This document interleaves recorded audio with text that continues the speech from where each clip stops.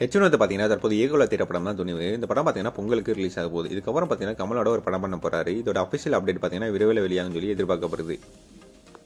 அதே மாதிரி பார்த்தீங்கன்னா யோகிபா வச்சு ஒரு படம் எடுக்க போறான்னு சொல்லி திட்டமிட்டுருக்காராம். அதுக்கப்புறம் பார்த்தீங்கன்னா தனுஷ்கோட ஒரு படம் பண்ண போறாராம்.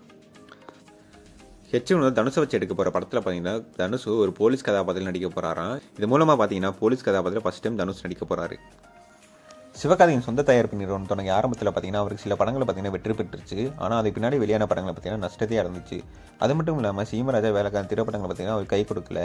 அதே போல் அயலான படமும் ஆரம்பித்து நான்கு ஆண்டுகள் ஆன நிலையில் இன்னும் ரிலீஸ் ஆகாமே இருக்குது அதனாலே பார்த்தீங்கன்னா அவர் அதிக கடன் பிரச்சனையில் சிக்கியிருக்கான்னு சொல்லி சொல்லப்படுது. கடன் பிரச்சனையில் இருக்கிற சிவகார்த்திகை பார்த்தீங்கன்னா ஒவ்வொரு படம் ரிலீஸ் ஆகும்போதும் ஒரு குறிப்பிட்ட தொகையை பார்த்தீங்கன்னா பைனான்சியருக்கு திருப்பி கொடுத்துருவாராம். போன வருஷம் பார்த்தீங்கன்னா டாக்டர் படம் ரிலீஸ் ஆகி நூறு கோடி பாக்ஸ் ஆஃபீஸ் கலெக்ஷன் பண்ணிச்சு. இதனால பார்த்தீங்கன்னா கொஞ்சம் கடன் தொழிலிருந்து மீள தொடங்கினாரா சிவகார்த்திகேயன். இந்த வருஷம் ரிலீஸ் ஆன டான் பிரின்ஸ் இந்த ரெண்டு படங்களும் பார்த்தீங்கன்னா எதிர்பார்த்த வெற்றியை பெறாதனாலையும் இந்த ரெண்டு படங்களும் சொந்த தயாரிப்பு இல்லாதனாலையும் இப்போ நிலைமை ரொம்ப மோசமாயிருச்சான் சிவகார்த்திகன் பார்த்தீங்கன்னா அதே கடன் பிரச்சனையால் சன் பிக்சர்ஸ் தயாரிப்பில் நாலு படங்கள் நடிக்கிறாங்கன்னு சொல்லி தகவலில் வெளியேற்றுச்சு அதுக்கு பின்னாடி பார்த்தீங்கன்னா அது அதை பற்றி எந்த அப்டேட்டும் வரல.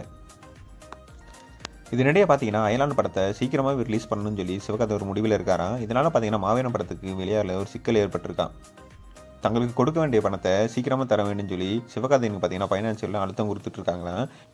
இதனாலே பார்த்தீங்கன்னா மாவீரன் திரைப்படம் சொன்ன டேட்டில் ரிலீஸ் ஆகும்னு சொல்லி சந்தேகத்தை ஏற்படுத்தியிருக்கு. இந்த வீடியோ பிடிச்சிருந்தா லைக் பண்ணுங்க. நம்ம சேனலை புதுசாக வந்து சப்ஸ்கிரைப் பண்ணுவாங்க பெல் பட்டன்லாம் ஆளில் போட்டுக்கோங்க.